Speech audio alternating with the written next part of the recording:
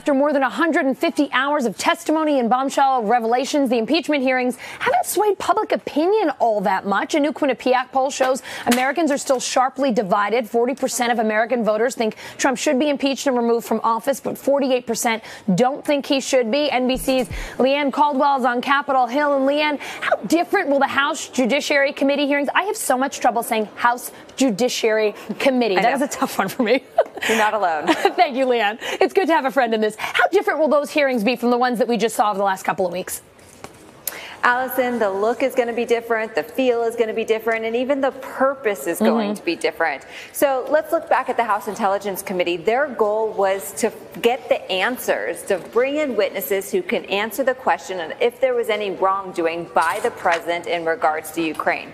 Now, the House Judiciary Committee, their goal is to have a debate about how this fits into the Constitution, a debate about separation of powers and checks and balances, and really really a constitutional debate. And so that's going to be a huge difference. Another big difference is these are two very different committees. The Intelligence Committee tends to be more staid, um, more serious, more under the radar. The Judiciary Committee is stacked with Republicans and Democrats on both sides who are the most bombastic of their party, who tend to like to fight the most, and who mm-hmm. can. Um, who can accurately and eloquently defend how they view the Constitution. So think about Jim Jordan on the Intelligence Committee. He's also on the Judiciary Committee. Multiply that by 10 as far as members on Republicans and Democrats, and you're going to could have some really explosive hearings, Allison.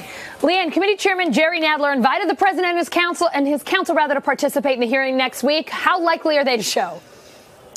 we don't know. Um, the White House has not indicated. House Republicans are to who might know if the uh, president's going to participate. They say they don't know yet either. Um, so it's a real open question here. On the one.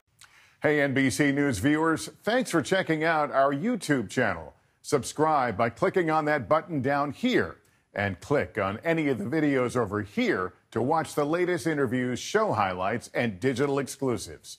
Thanks for watching.